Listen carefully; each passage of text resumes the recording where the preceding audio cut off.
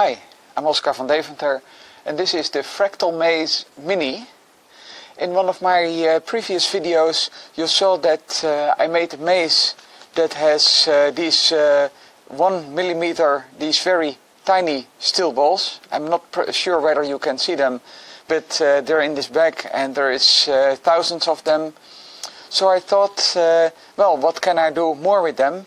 And then uh, Peter Knoppers came up with the idea of engraving a maze uh, into acrylic. So this is uh, 3 millimeter acrylic and a path of just uh, over 1 millimeter wide and 1 millimeter deep was engraved into the uh, plastic and it was engraved in a fractal pattern called uh, the Dragon's Maze.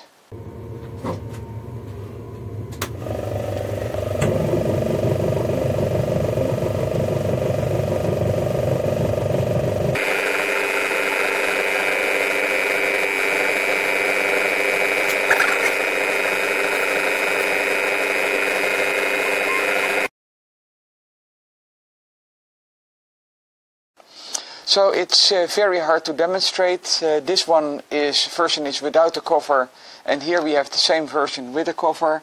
And for me, it's virtually impossible to see.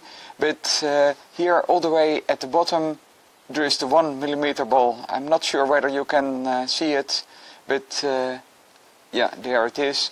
And of course, you can manipulate it by moving the maze in uh, different directions. And the object of the maze is you start on the right side and you go to the top side and there's a whole fractal pattern uh, where you have to go and of course there are many many dead ends. So this uh, worked well.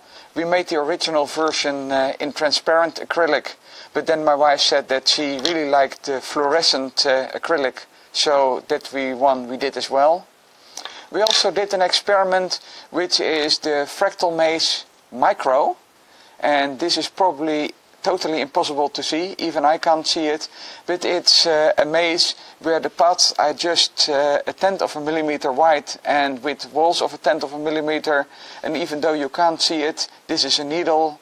Um, and with the needle, I can sort of follow the pattern but it's uh, very hard to uh, solve it. So I believe this is uh, a bit over the top. Fractal Maze Macro or uh, micro didn't work, but uh, the Fractal Maze Mini, um, it works, it's a success, it's, uh, it's fun. So my question to you is about the name of this puzzle. It's called Fractal Maze. What does the word fractal mean? Thank you for watching.